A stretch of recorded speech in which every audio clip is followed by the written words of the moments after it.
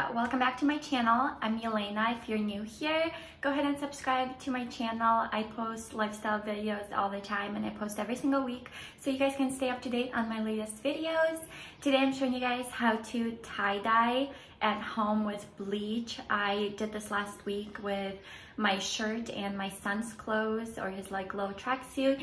So I'm gonna go ahead and post a TikTok of me doing that right here. I'm a new soul, I came to this strange world Hoping I could learn a bit about how to give and take.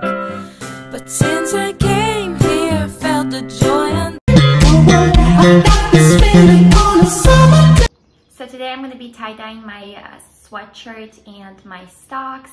And before you get started, make sure you check your labels because certain clothes will not take the, the bleach and will not tie-dye your clothes.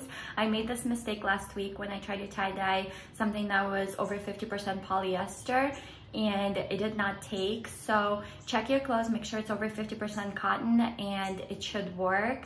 So yeah, I hope you guys enjoyed this video and let's get started with tie-dyeing. So I just put everything in the sink. You want to wet everything before you start pouring bleach on it. So I'm just going to quickly wet all this. And you don't have to soak it or anything, just like wet it.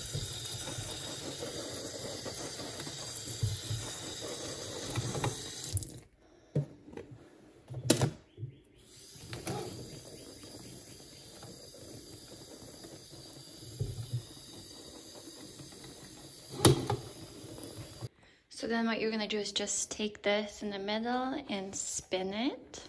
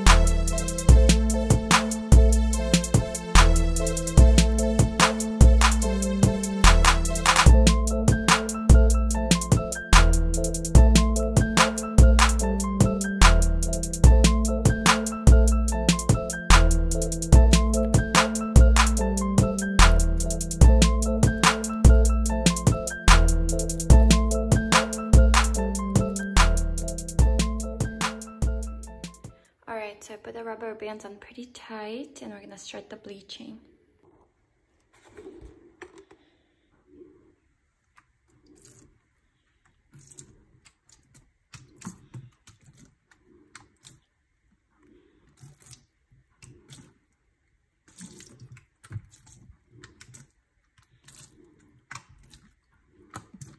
It's already turning.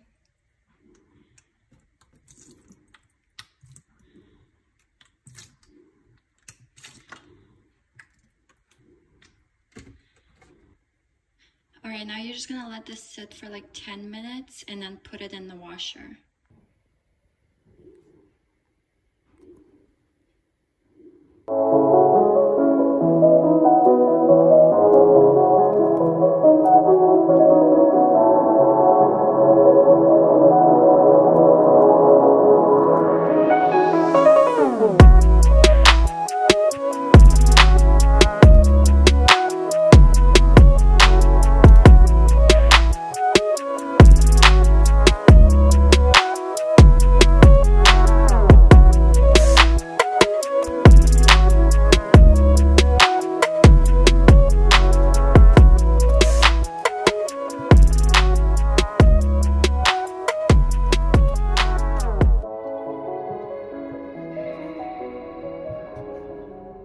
Alright guys, here's the final result. I really like how this turned out. It looks so cute.